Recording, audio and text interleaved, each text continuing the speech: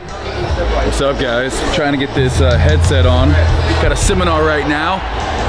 Welcome to uh, the Down Under vlog. I don't even know what this is, part three or four. But we got a, a seminar right now here at the Gymshark event. Day two here. Seminar is all about habits. I'm just gonna go wing it. Made a little notes, made a little outline right there. Good to go.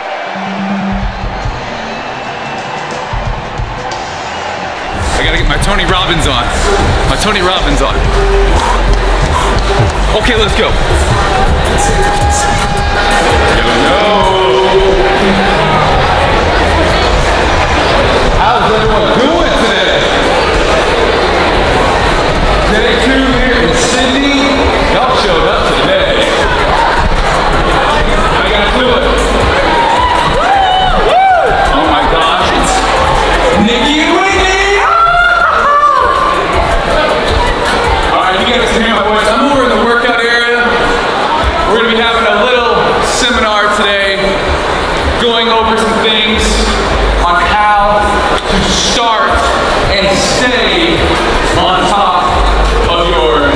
fitness goals. So how many of you guys, just by show of hands, have started a New Year's resolution revolving around fitness? Australians don't do New Year's resolutions? Yes? Some of you guys? Are you guys just too smart to know that you'll fail if you set a New Year's resolution? Because statistically speaking, 90% of people that have set a New Year's resolution have already fallen that bandwagon. So we're going to talk a little bit about what we can do, especially in the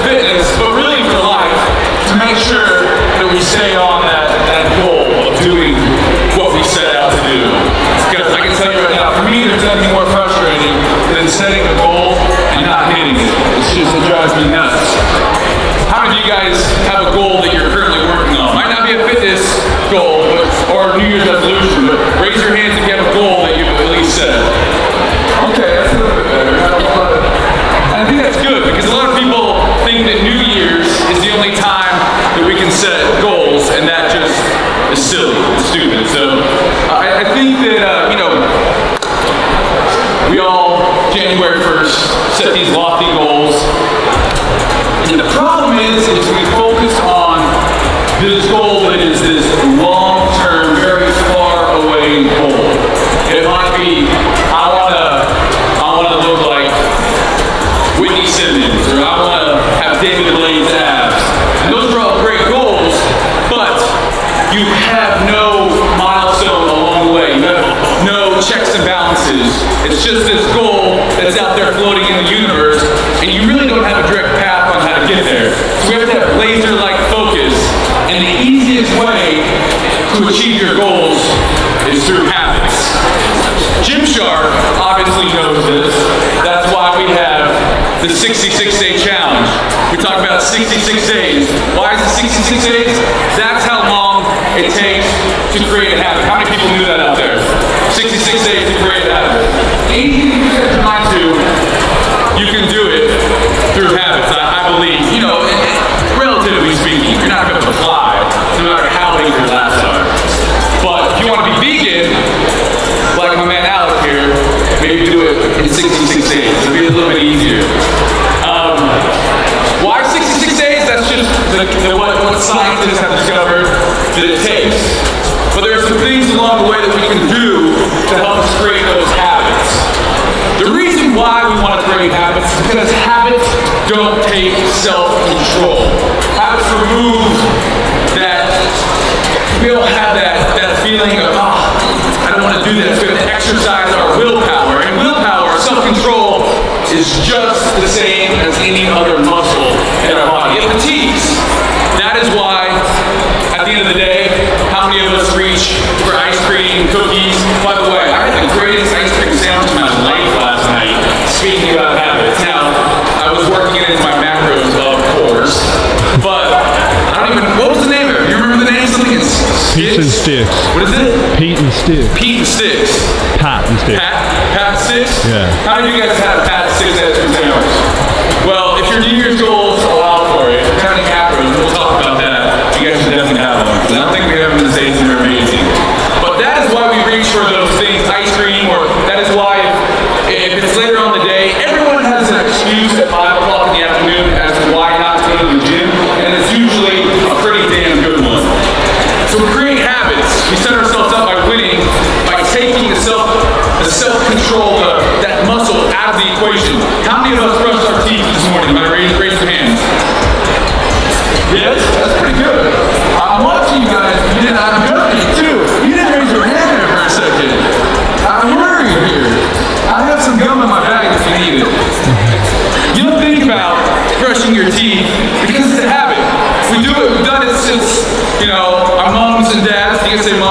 really trying to be Aussie, so I'm trying to show some vernacular there.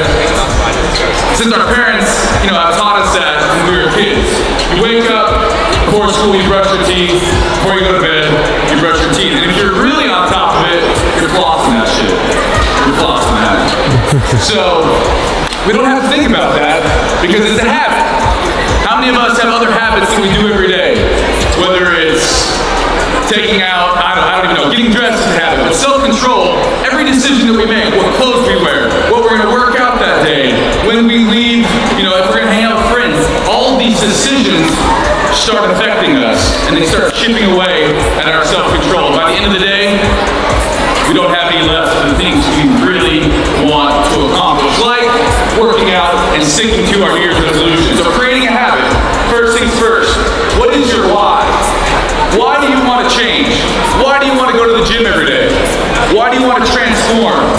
Is it extrinsic or intrinsic? We need to first identify that. Extrinsic motivation comes from outside forces. It might be, you know, you want to change because you went through a, a breakup and you want to get shredded, or you want to grow that booty and you know get noticed by the opposite sex. You might it might be because you have kids and you want to do it for them. Both motivation factors are of great importance. Both are going to really push us to do things that we would might not otherwise do. Goals, when you lay your head on the pillow at night, those are the goals that are going to really keep us going. Those are the things, those thoughts, those habits that when you think about why I'm doing this habit or why I'm trying to create it, those extrinsic factors will carry you further. Science shows will carry you further than just extrinsic alone. So it's great to have both, but make sure make sure you identify your why. Because without your why, when that going you're going to inevitably shut down, fail, end up starting over, starting over, starting over. So identify that why. Next thing, you identify that why, you know why you want it so bad more than anything you wanted in your life. You're telling people about it. I'm gonna do this. I, I want it bad. The next thing you do, most people try to change their whole life in a day. They work out, they work out for two hours in the gym, they drink their gallon of water, they eat their perfect chicken and rice, their eggs or goose, as you guys say. Whoever says goose to you? That's a weird ass word. That doesn't sound good for eggs, so it's good.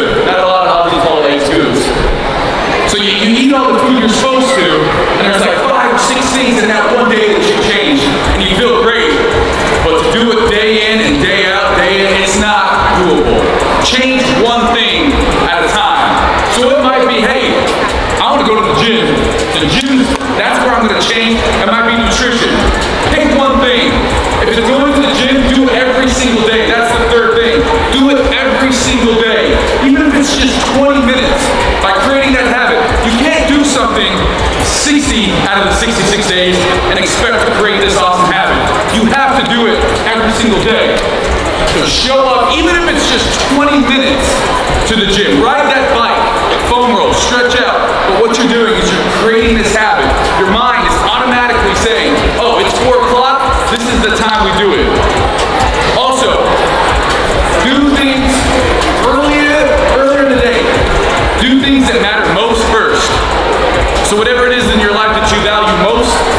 do it first in your day when you have the most willpower. Until you create that habit to where you're just automatically doing, it's a non-negotiable. You're gonna show up no matter what. Until you have that habit, do it first thing. Because again, it's easy at 5 p.m. to say, hey, I have this other thing. I made this other arrangement. Traffic's too bad. This came up at work. I gotta get this email out. Too easy for those excuses. There's very few excuses at 6 o'clock in the morning. So make sure you set yourself up for success by doing, having a routine and doing it every single day. The next thing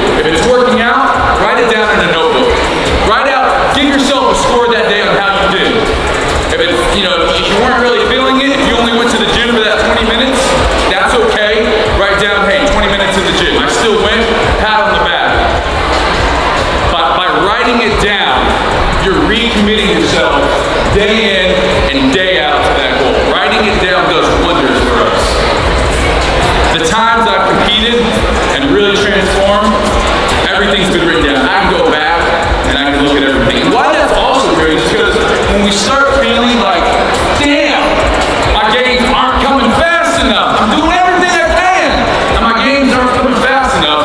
You go back and you open up that notebook, and you start seeing things. You might, you might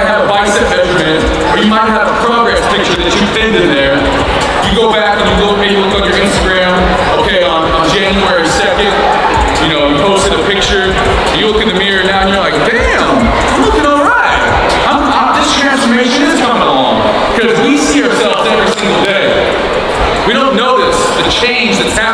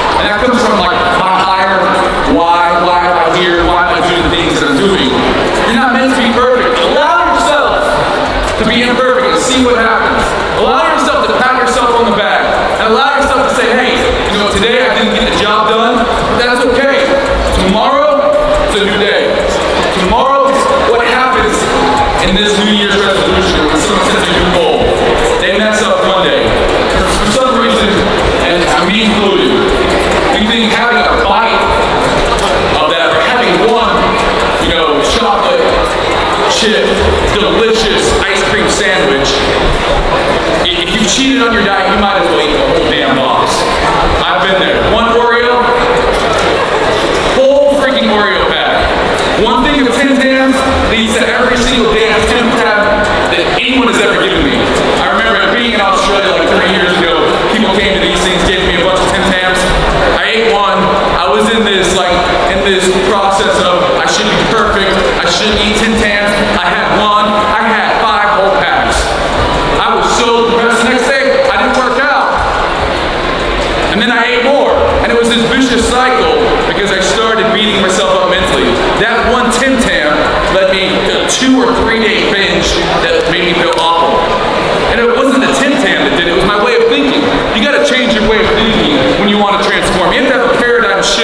that allows yourself. You're not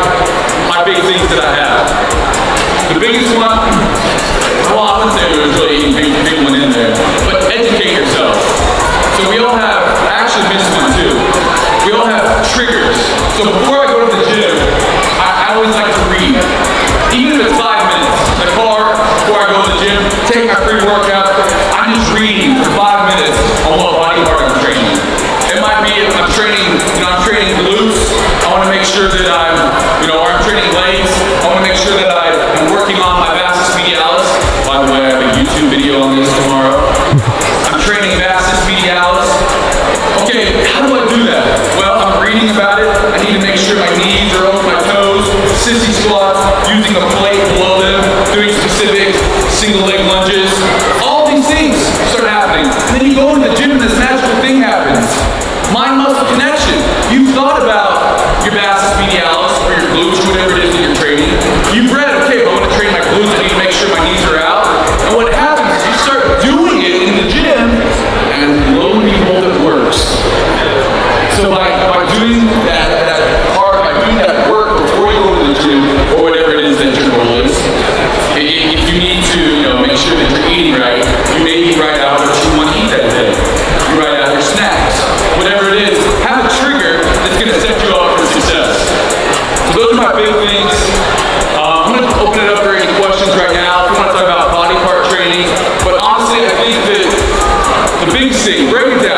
Go don't beat yourself up. Have someone that you're going to be accountable to.